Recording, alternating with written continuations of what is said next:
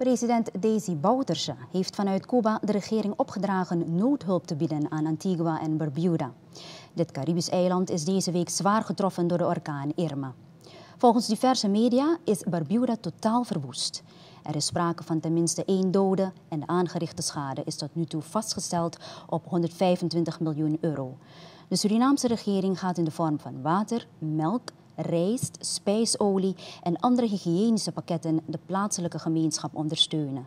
In een persbericht van het kabinet van de president is aangegeven dat deze hulpverleningsactie een samenwerking is tussen het kabinet van de president, het ministerie van Buitenlandse Zaken en het Nationaal Coördinatiecentrum voor Rampenbeheersing NCCR. De pakketten worden uiterlijk dinsdag vervoerd naar het getroffen eiland. Het persbericht zegt niet of Suriname ook financiële ondersteuning zal bieden aan Bermuda.